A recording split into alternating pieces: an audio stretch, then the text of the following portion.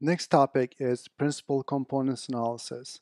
Principal components analysis, what we're trying to do is we're trying to take a lot of variables. I use the word word a lot here on purpose, meaning that you might have four variables, it could be somewhere between four variables, it could be four variables, it could be 40 variables or 140 variables.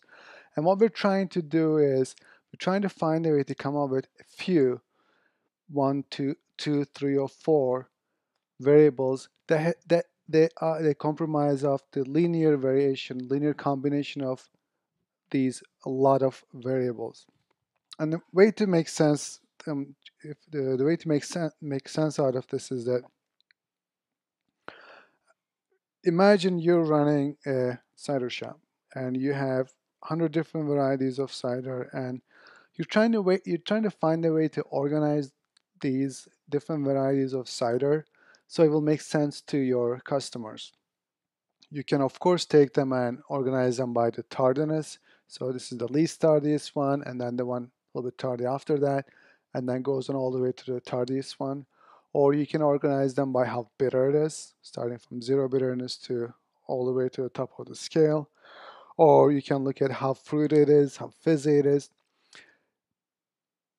This kind of so principal components analysis makes it easier in a way to create a common column to say tastiness of these ciders, different varieties of cider.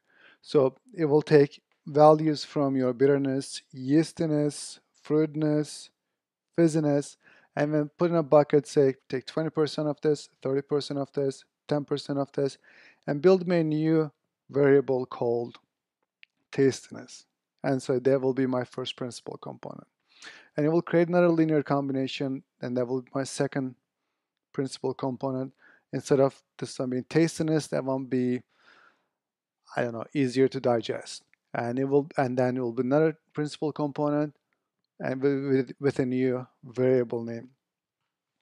So the principal components is a variable reduction technique. So you take your a lot of variables and bring them into meaningful few variables so you can take your big data set and organize it in a way that first it'll be easy to visualize and also easy to make sense out of it. So let's look at it as an example. What I will do is I have a data set.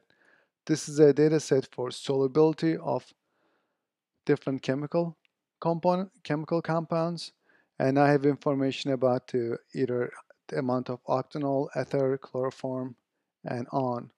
I have about six, six different columns, and I'm trying to come up with a way to organize these instead of, I know I can't visualize six different variables, maybe in a way to visualize it or in a way to express my very, put all my compounds into different bins. So how would I do that? Under Analyze, Multivariate, now I will select the principal components. What I would want to do is I would select all the variables that I'm interested in, I'm trying to reduce the numbers of, and I can drag them into my Y column box. And I will, you will have access, you will have a chance to decide what type of estimation method you would, you would want to use. I would recommend you go look at the help manual and understand each of these methods and how they work. But in most cases, the default option will work. And next I will do OK. Once I do I say OK, that it will build eigenvalues for me and I can see first eigenvalue is way more prominent than others. And if I want to see what they look like and my principal components, I can either I can create my principal components in the correlations, covariances are unscaled. By the way, JMP will automatically scale your variables while it's building the principal components. And if you want them to be unscaled, you can select unscaled option. And if you want to see the covariance matrix, see what the correlation be between each of these variables are, you can look you can find them under the red triangle. You can look at your eigenvectors. These are basically it shows how much of each of these variables or original variables will be in the principal components, what the impact of is, what the impact of each variable is on the principal components. And next what I, I would want to do is, since I'm happy, and I, one more thing here to look at is a scree plot. Scree plot shows you the eigenvalues compared to a number of components. And after certain certain cutoff value, after three components, my eigenvalue is not changing much.